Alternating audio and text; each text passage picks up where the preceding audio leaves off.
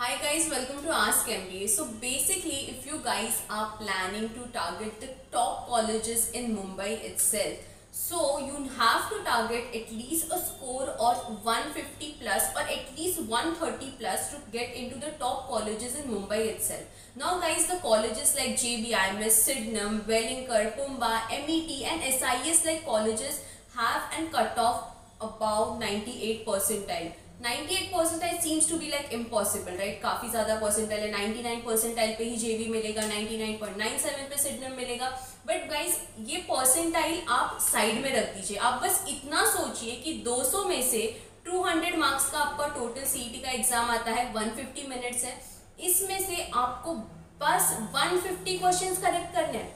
150 to 130 का bracket आपके दिमाग में लेके चलिए कि मुझे सिर्फ़ इतना ही स्कोर करना है। मुझे सिर्फ़ 200 में से इतने ही मार्क्स आने अगर आप ये सोच के चलेंगे तो एग्ज़ाम की तैयारी करना और भी ज़्यादा आसान हो जाएगा। नाउ गाइस जेबीआईएमएस का कट ऑफ़ जाता है अराउंड 140 टू 150 के स्केल में। यानी 200 में से आपको इतने ही क्वेश्चन अटेम्प्ट करने हैं। सिडनम में से सिडनम के लिए भी सेम कैटेगरी है। अगर एस आई एस जैसा कॉलेज है, अगर आप वो टारगेट करते हो तो 130 to 140 that's it that's the number of questions which you have to attempt हो आप उस एग्ज़ाम में, आराम से no negative marking CT exam is only about attempting maximum question and getting the maximum score guys 200 questions है 150 minutes का time है. आप पहले देखिए कि आपकी स्ट्रेंथ क्या है, आपकी वीकनेसेस क्या है. आपका लॉजिकल रीजनिंग इसमें सबसे ज़्यादा हायर मार्क्स में आता है। मतलब almost seventy five question direct आपके लॉजिकल रीजनिंग के बेस्ड आते हैं। So guys from now make sure that you are practicing daily at least weekly एक एक टारगेट रखो कि मुझे एक हफ़्ते के अंदर कुछ पाँच क्वेश्चंस करने ही करने हैं। एटलीस्ट पाँच जो टॉपिक्स हैं वो मुझे कवर अप करने हैं।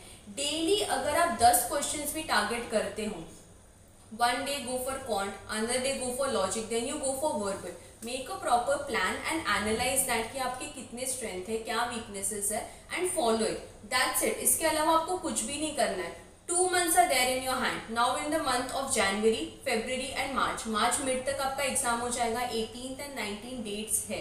ठीक है? अगेन वो टेंटेटिव डेट्स है. अगर एक्सटेंड भी हुआ सीटी का एंट्रेंस एग्ज़ाम तो भी वो एक मार्च एंड तक जाएगा. बट उसके पहले मेक श्योर sure करो कि मार्च फ़र्स्ट वीक में आपका प्रिपरेशन पूरा हो रहा है.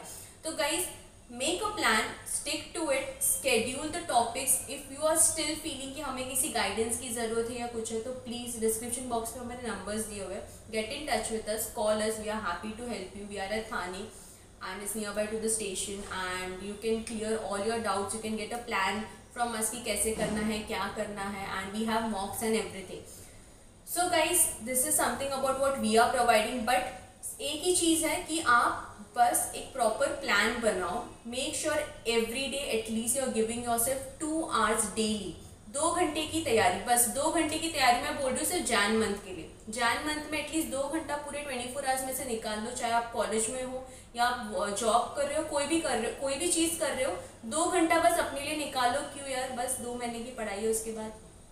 आराम ही आराम है, उसके बाद आपकी एमबीए की जर्नी स्टार्ट हो जाएगी. ठीक है? This is something which i wanted to tell you guys. If you have any more doubts or anything please get in touch with us. Thank you so much